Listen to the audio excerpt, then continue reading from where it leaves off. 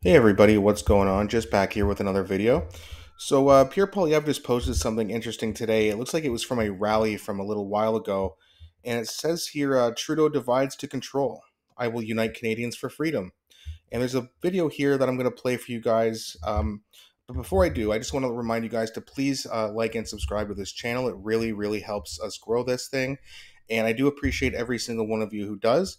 And so, if you do want to stay uh, updated on recent political uh, updates and activities, then please hit that subscribe button and the notification bell, and you'll be notified every time I post a video. You can just click on the notification and enjoy the content instead of searching for it on YouTube.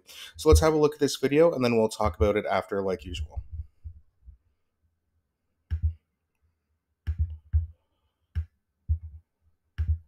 Sorry about that and small citizens. Inflation is attack on your freedom.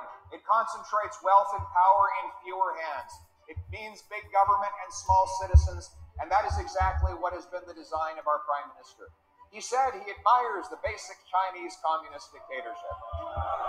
Inflation is attack on your. Sorry about that.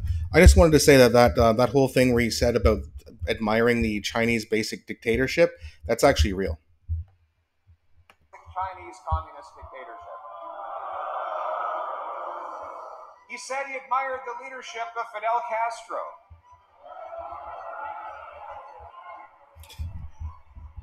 He, he said that he wants to he wanted to seize the bank accounts of law-abiding people for protesting him. He's tried to censor the internet. My friends, common sense conservatives are pushing back. I am running for prime minister to put you back in charge of your life by making Canada the freest country on earth. Yeah, so it was just a really short video, but he made a lot of good points. Now, what Justin Trudeau has been doing, does that sound more like a free capitalist country, or does it sound like he wants to be a communist and a communist dictator at that? You don't freeze bank accounts for people who are protesting you. You don't say things like, hey, how long do we tolerate these people for questioning or not wanting to get a certain medication? You don't have just massive government who does nothing, who are way overpaid, who spend way too much money, and it hurts every single one of us. The national debt is insane. There's not enough houses. He's letting in all kinds of uh, just mass immigration into this country. Is that what a, a prime minister would do to a country if you want that country to be free? No, if you want the country to be free, if you want the citizens to be free, the answer is actually smaller government. Some people would even say no government at all. I'm not sure about that one, but small government over big government, absolutely. There's no need for any of these things that, that Trudeau did, um, especially during the pandemic. He, he showed that this guy just has, I mean, invoking the Emergencies Act I mean, that's that's insane. It's never been done before in a situation like that for for a protest. Well, they were blocking off roads. BLM blocked off roads here in Hamilton too to play to to. Uh, I think they spray painted "fuck the police" on King Street, a major street in Hamilton. Ambulances, fire trucks, cop cars. People couldn't get through. They got taken away. Were not arrested. They were just booked and then let go. But if you do it on the other side, they freeze your bank accounts and they say how longer can we tolerate or accept these kinds of people? Which from a liberal standpoint when you use the word the or the term these people isn't that racist? Kind of weird isn't it? How trudeau likes to or the liberal ideology of what's racist all of a sudden they use that same terminology. Because when when it comes to conservatives they're just so evil and the liberals are so good. Yeah that's not the case.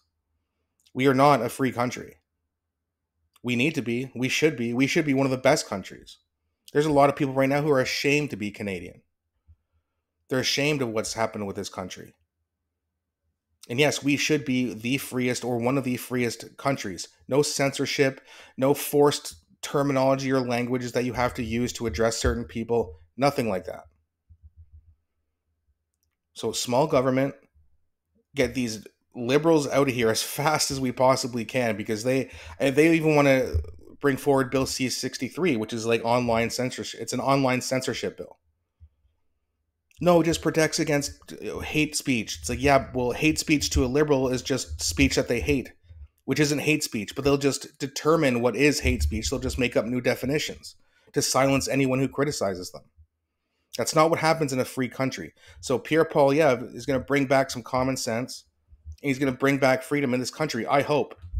Because if not, I don't think there's any other politician in Canada, at least right now, who's going to, especially not Maxime Bernier or Jagmeet Singh or Elizabeth May. It's pure Pierre Poilievre. We're fucked. So hopefully, when he gets in, he does a really, really good job. Because, like I said, I don't know what we're gonna do if not. He's gonna have to keep some of his promises, or else he'll be out in four years. And like I've said before, a politician's primary job is to get elected again. Well, in order to do that, you have to appease your voters. So if he starts to censor Canadians, or if he we find out he's working for the WEF again, which he said he was he, he said that he had dropped out from that organization and would not go back, and neither would any of his cabinet members. Great. Axe the tax. If he doesn't do these things, if he doesn't build more homes and control immigration, he'll be out the next election. So that's why I trust in him more than anyone else. That doesn't mean I fully trust him. He's still a politician. I completely understand. But he's the best option by far. So hopefully Pierre Poilievre will keep his promises and make Canada an actual free country, just like we used to be, and then Canadians like me can feel proud again. But let me know what you guys think in the in the comment section. Do you think that Pierre Poilievre is the best option? Do you think there's someone else? Uh, do you think that we're just screwed no matter what? Let me know what you think. And again, please don't uh, forget to hit that like and subscribe button as it really helps grow this channel. And thanks again so much for watching, guys, and I'll be back shortly with a new video.